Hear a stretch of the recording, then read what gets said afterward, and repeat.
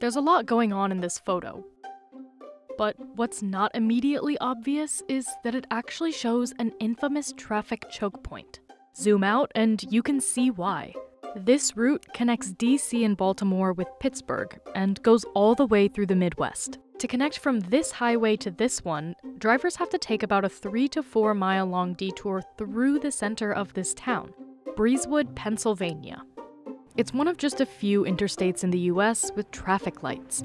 The commercial corridor around this interchange has become a meme on American car centric culture depicting a detour that stops the flow of traffic for roughly 5.5 million drivers every year. At its worst, creating congestion that spans miles. But if you take that traffic away, what happens to the town? We really need to balance how to retain the economic vitality of Breezewood while mitigating the negative impacts of vehicles. So, we asked an expert to fix this choke point. So the simplest solution for driver efficiency would be to create an interchange at this location where the turnpike meets Interstate 70.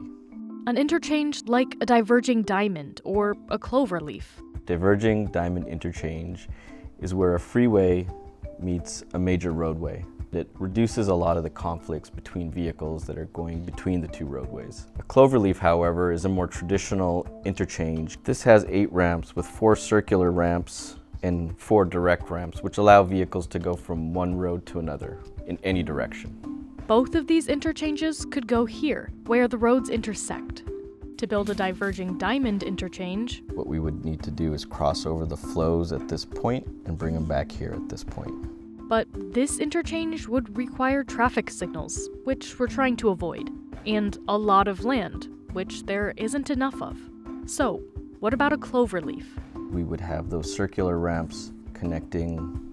This would allow movement between the two roads from any direction to any direction. Reducing the interchange length in each direction by up to roughly four miles. Challenge would be how it would interact with this local road, how we could potentially avoid conflict with some of the existing properties and structures that are in that area. But there's another solution that's even simpler, and it only needs two ramps. So the first would be a ramp that connects the turnpike to I-70 southbound, and one that connects I-70 traffic towards the turnpike. It allows movement between both roads in all directions with only two ramps, as opposed to an interchange at this location which would require eight ramps in order to provide that same level of connectivity. This shortens the west and eastbound movements by about one to two miles. This would allow vehicles to move from one road to another without interacting with traffic lights, which would be helpful for all drivers, especially trucks. On average, trucks make up about 12% of traffic on rural interstates across the country. But trucks made up 36% of daily traffic in Breezewood last year.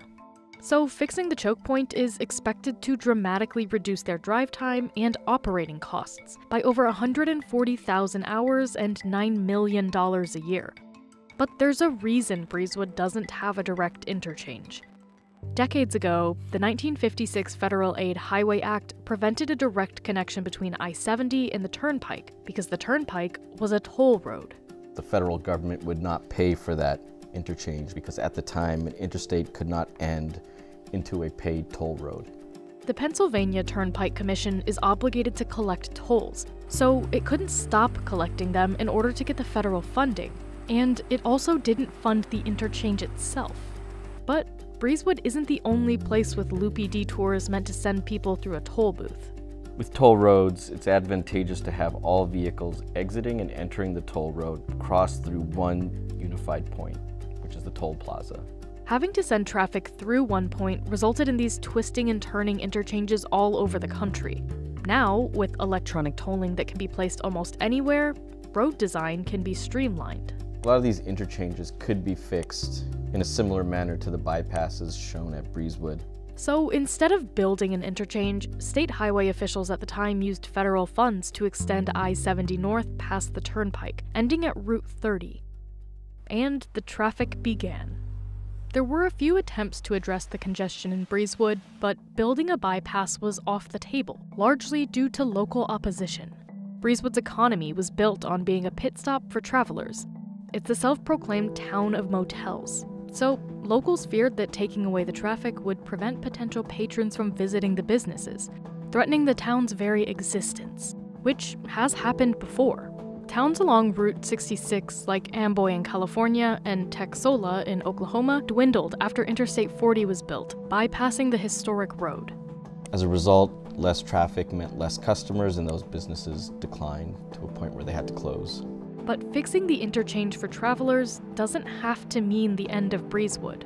We still want to have traffic go through that area for drivers to take breaks or visit the businesses. But we also want to improve the Route 30 corridor so it's less auto-centric.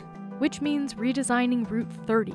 So what we would like to do along Route 30 is essentially reconfigure the roadway to make it easier to make left turns and to allow pedestrians to walk between the different establishments in Breezewood. Step 1. Turn this into a roundabout. So the benefit of the roundabout is that it allows drivers to make all movements without having to stop at a traffic signal. And it signals to drivers that they're entering a slower, calmer area. Step 2. Implement what's known as a road diet on this stretch of Route 30, which involves replacing at least one lane with other features, like sidewalks and bicycle lanes. This is how a road diet was implemented in Charlotte, North Carolina. They took away one lane in each direction and replaced that with a two-way left turn lane in the middle, a bicycle lane on either side, and then a mid-block crossing to allow folks to cross from one end to another. So, what would a road diet look like in Breezewood?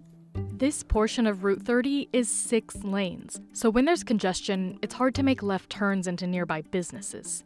Also, with six lanes, no sidewalks, and no crosswalks, it's nearly impossible for pedestrians to cross from one establishment to another. But with a bypass in place, traffic on Route 30 would decrease, so Varanesh would get rid of one lane and replace it with sidewalks on either side, and add a two way left turn lane in the middle that's divided by a mid block crossing. Essentially, to allow pedestrians to go from one end to another. But the town needs more than just redesigned roads.